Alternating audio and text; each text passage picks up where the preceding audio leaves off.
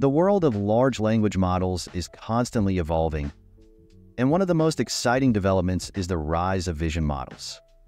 These models have the incredible capability to understand and interpret images, opening up a whole new realm of possibilities. Imagine being able to have a conversation with an AI about a photo, asking it questions about the content, or even using it to generate descriptions automatically. The applications are vast, spanning from assisting visually impaired individuals to revolutionizing how we interact with images in creative industries. Speaking of innovation and vision models, there's actually a vision benchmark leaderboard called the Wild Vision Arena Leaderboard.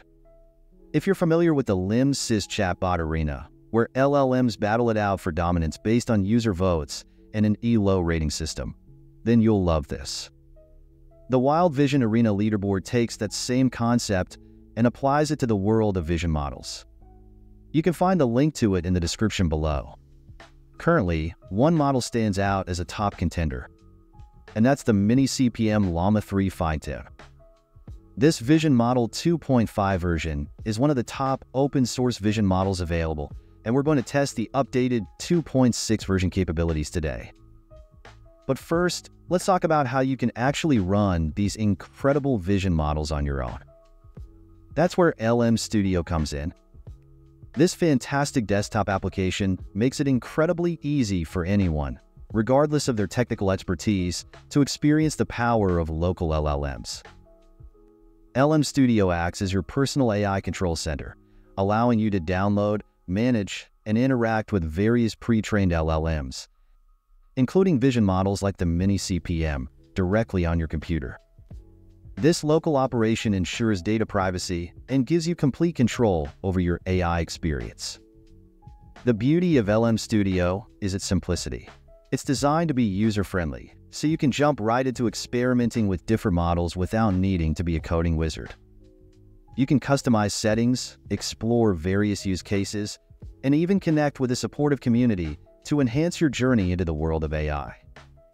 If you haven't already, smash that subscribe button and ring the bell so you don't miss out on more awesome AI content. Alright, so if you're ready to unleash the power of vision models, let's do a quick walkthrough of LM Studio. If you haven't installed it yet, no worries. I've got you covered. Head over to the LM Studio website, download the package for your operating system. They got versions for Mac, Windows, and Linux, and install it. Once you're all set up, open LM Studio. Navigate to the Discover page using the menu on the left. Think of this as your AI model shopping mall. Type in Mini CP-M in the search bar, and you'll see our star of the show. The Mini CP-M version 2.6 Llama model. Click on the drop-down menu under, choose a download option, and select a model size compatible with your computer specs. Now a quick pro tip. When downloading vision models in LM Studio, you might need to download a separate smaller file called the mmproj Vision Adapter. Don't worry, for this example, we'll be using the LM Studio Community version of the Mini CP-M, which conveniently bundles the Vision Adapter with it. I always recommend going for the highest quantization that your system can handle. I like using the Q8 versions as it fits very well on my system and runs at a speed I can tolerate. A great thing about LM Studio is that it shows you the model file size and even tells you if your device can handle it and if GPU offloading is possible. You can check your device specs in the bottom right corner. To keep track of your downloads, click on Model Downloads at the bottom or the My Models folder icon on the left. There, LM Studio will provide you with a list of your current and past downloads. Once your Mini CP-M model is downloaded, it's time to head over to the Chat UI and load it up. Make sure you select the one labeled with a small vision icon in the model dropdown.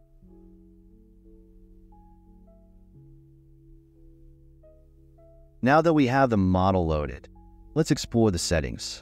Click on the settings gear icon next to the model loader box. Here, you can adjust the context length. I'm going with 8192, standard for the Llama 3 models, and set my GPU offloading to 12 to speed things up. Play around with the other settings, and if you're feeling adventurous, take a look at the advanced settings by clicking the All button which hosts the setting for flash attention, rope, and seed settings.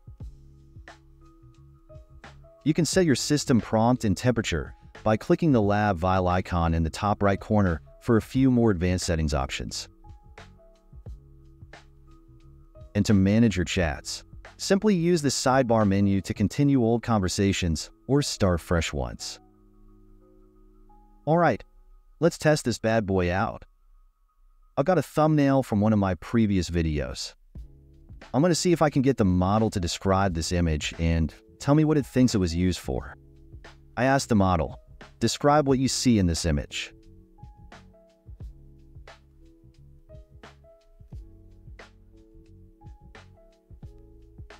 And here's what it came up with. The image is a promotional graphic for Llama 3.1, which appears to be related to local web search and open source tools like DuckDuckGo, Jina, SEOXNG, Brave, Google Serper, etc. The background features the head of a llama with bright eyes looking directly at the viewer. This suggests that the product or service being promoted is likely focused on improving internet searching capabilities in a more ethical or privacy-conscious manner compared to traditional search engines like Google. Okay, that's pretty good. It nailed the theme and even picked up on the privacy aspect, as this was a feature for the open Web UI search feature which you can run locally. It got most of the spelling in the image correct besides the SearXNG, and hinted that this could be used for promoting, which when thinking about it is kind of true. Let's see if it can pick out the colors. Let's ask it, what colors are present in the image?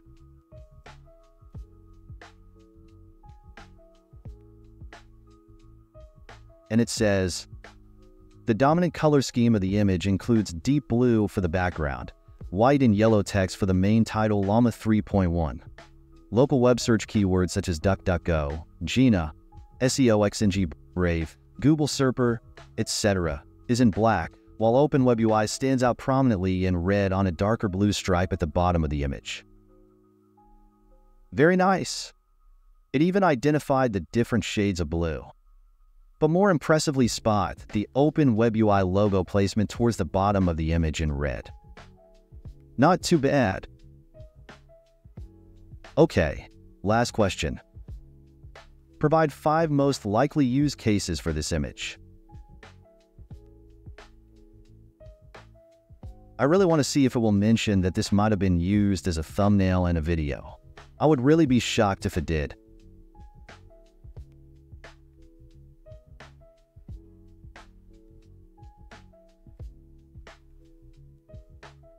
Okay, it didn't quite guess that it was a YouTube thumbnail, but it did say social media post, which I'll count as a win. Now for round two, let's start a new chat and challenge this model with an image of a meme. We'll use the notorious distracted boyfriend meme, to be precise.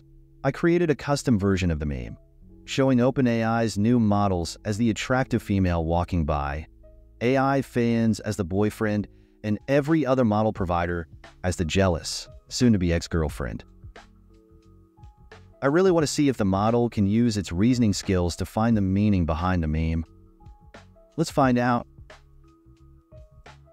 I asked the model, what can you tell me about this image and what do you believe is the meaning behind the image?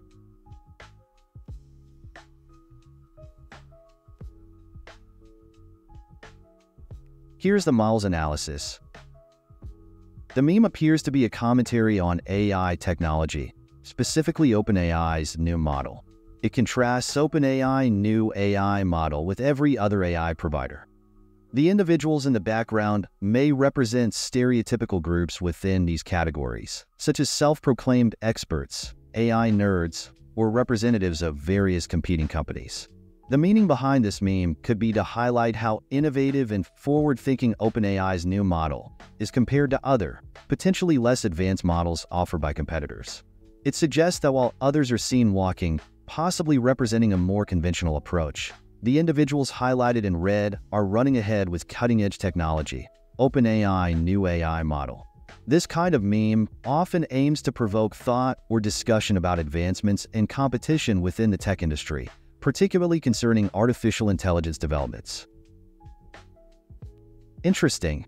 It definitely understood the elements of the meme and the focus on OpenAI, but it missed the humor about AI fans being distracted by every new OpenAI release. Let's see if we can nudge in the right direction. I'll ask, okay, but what is the meme insinuating? What is the joke behind the meme?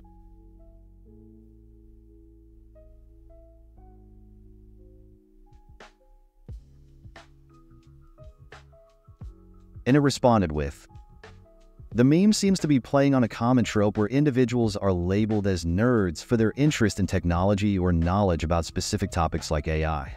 In this case, it's humorously suggesting that people who follow OpenAI or those perceived as AI nerds have jumped ahead of others, every other AI provider, by adopting the latest and most innovative model.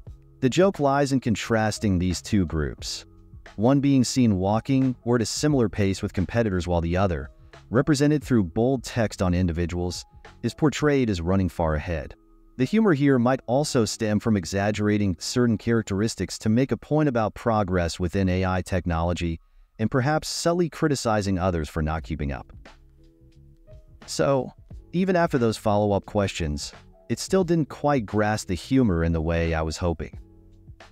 Sometimes, even the most advanced AIs need a little help understanding our human memes. That being said, the Mini CPM is incredibly capable, and with each iteration, these vision models get even better at understanding not just what's in an image, but also the nuances of context and humor. Have you experimented with the Mini CPM or any other vision models? Share your thoughts and experiences in the comments below. And don't forget to hit that like button and subscribe to stay updated on all things AI. Until next time, keep exploring the fascinating world of artificial intelligence.